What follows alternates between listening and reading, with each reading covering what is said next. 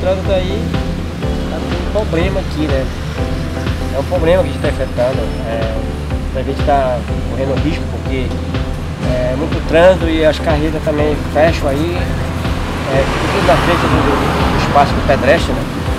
Então, está enfrentando é, um problema de muito tempo, né? Que a gente é, achava que se fosse possível devia ser resolvido, né? Pelo menos é esse estacionamento de carreta, carreta pesada. Eu não levei a ter aqui na frente do nosso espaço aqui, que são a nossa calçada aqui, né? Onde nós pode se locomover. Aí é esse o problema que está enfrentando aqui. E já aconteceu algum, algum tipo de acidente, carro que bateu no outro, pessoa Já atropelada? aconteceu morte. Já, frente se permite. Carreta encostada, ocupando o espaço, restrito. E o rapaz veio numa moto e deu ali na ponta da carreta. A rua distante sempre um outro. E como era antes, por exemplo, que era só uma via? Vocês achavam que depois que fizesse essa dupla via melhorar? É, pelo menos porque antes era só uma, né? E hoje é duas, né?